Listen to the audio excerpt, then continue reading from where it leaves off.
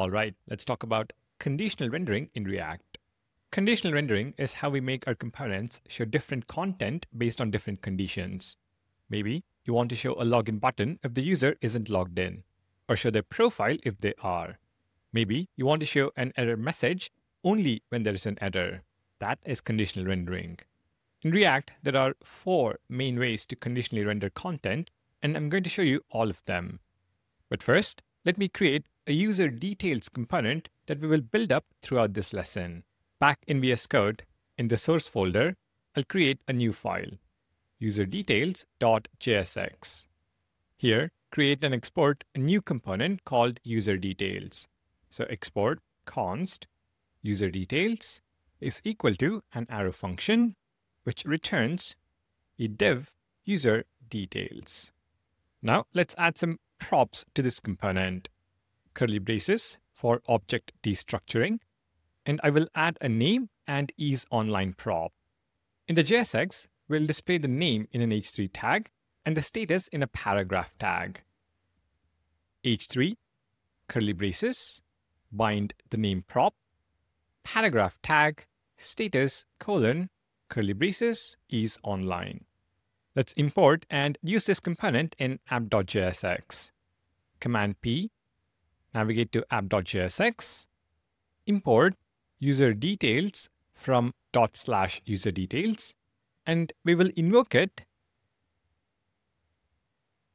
once with the props name is equal to Bruce Wayne and is online is equal to true. And then again with the props name is equal to Clark Kent and is online is equal to false. With our dev server running, if we check the browser, you can see we have Bruce Wayne and Clark Kent rendering, but the status is empty. Let's improve this with conditional rendering. The first approach and the most straightforward way to conditionally render is with good old if statements. Let me walk you through the code. Let's start without any JSX. Now, within the function body, we use the if statement and we check if is online is true. If it is true, we return a div tag with h3 that renders the name, a span tag that renders the text online with a green status indicator, a paragraph tag available for chat, and a button that says send message. And after the if condition, we can return a div tag with an h3 that renders the name, a span tag that renders offline, a paragraph tag that says not available, and small text, check back later. So depending on the value of is online, we're going to return different JSX. You could technically use an else statement here, but it's not necessary. Check the browser, and you will see that the JSX is rendered differently based on the value of is online. Bruce Wayne is available for chat and you can send a message. Clark Kent is offline, he's not available, you can check back later. But sometimes, based on a condition, you may not want to render anything at all. In such cases, you can return null. Let me add another prop called hide offline. And in the function body, if hide offline is true and the user is offline, so not online, we won't render anything.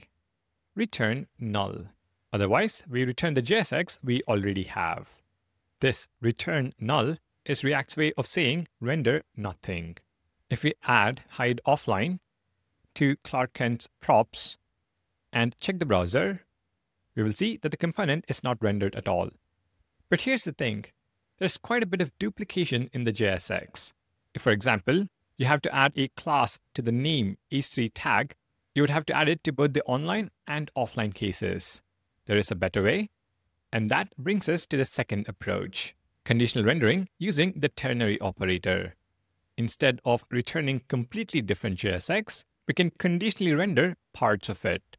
So back in user details, we can add one return statement with a div tag with an h3 that renders the name, a span tag that uses the ternary operator on is online to render online or offline a paragraph tag that uses the ternary operator once again on is online to render available for chat or not available. And finally, the ternary operator on is online, but this time to render different HTML elements. A button if is online is true, so we can send a message. Otherwise, the small element check back later. We can remove the other return statements. We use curly braces inside the span tag. We check if is online is true and render online as a text, otherwise offline. Paragraph tag, we use curly braces to conditionally render the text. And then we start with a curly brace, check if is online is true, and conditionally render either a button element or the small element. We went from two completely separate returns to one return with conditional parts. If we check the browser, we see the same output as before, but the code is much cleaner. We went from two completely separate returns to one return with conditional parts. The ternary operator is like a compact if-else statement that you can use right inside your JSX. Let's now move on to the third approach, the logical AND operator, which is just a more specific case of the ternary operator. When you want to render some JSX when the condition is true, or render nothing otherwise, the AND operator is perfect. Let me add some new props to show you how it works. I'll add two new props to the user details component, is premium and is new user.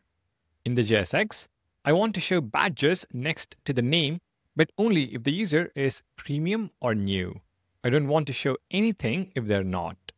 So after rendering the name, another pair of curly braces, we check if is premium is true.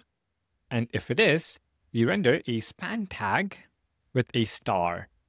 Similarly, in the next line, curly braces, if is new user is true, we render a span tag with the party emoji. You can read this as if is premium, then render the premium badge. Otherwise, render nothing. Same with the new user badge. The AND operator is perfect for these show or hide scenarios. In app.jsx, for Bruce Wayne, we'll pass is premium is equal to true and is new user also equal to true.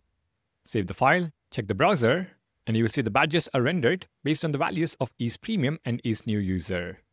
Now, one thing to watch out for with the AND operator is when working with numbers.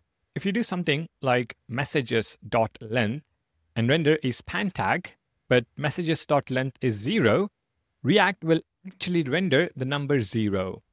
You always have to be explicit. Messages.length is greater than zero, only then render messages.length. This is a very common beginner mistake. All right, the fourth and final approach for conditional rendering is to use variables for complex logic. Let's say our user details component is getting more complex and we want to show different content based on the user's role. When things get complex, it's often cleaner to prepare your content with variables. Let me add a new prop called role. So role, destructured from the props object. Now, in the component, we can define a variable called role badge and assign it a value based on the role. Let's assume the role can be either admin, moderator, or VIP. We can start with a null value and assign it a value based on the role. If role is equal to admin, then role badge is equal to a span tag with the key emoji and admin text. Else if role is equal to moderator, role badge is equal to a span tag with an emoji and the text moderator, else if role is equal to VIP, role badge is equal to a span tag with an emoji and the text VIP. Now we can use this role badge component in the JSX. After is new user, bind role badge in app.jsx, add the role prop for Bruce Wayne, and set it equal to admin, set Clark Kent to online, and add the role prop is equal to VIP. If we save the file, check the browser, we see the role badge is rendered based on the role admin for Bruce Wayne and VIP for Clark Kent. You can see this approach is super clean. We are preparing all the complex logic before the return statement. Then our JSX stays simple and readable. All right, let's recap our four ways of conditional rendering. If statements, great for completely different renders or returning null. Ternary operator, perfect for either or situations. And operator, ideal for show or hide scenarios. And variables, best for complex logic that makes your JSX messy. The key is picking the right tool for the right job. Start simple, and as your conditions get more complex, move to the approach that keeps your code the most readable. Now, there is actually a fifth way introduced in React 19.2 called the activity component. It gives you a new way to hide parts of your UI and then bring them back later without fully removing them from the DOM. We will discuss this later in the course once we've built up a few more building blocks to understand what's really happening behind the scenes. As for our next topic, we're going to look at rendering lists in React, how to take an array of data and turn it into a list of components.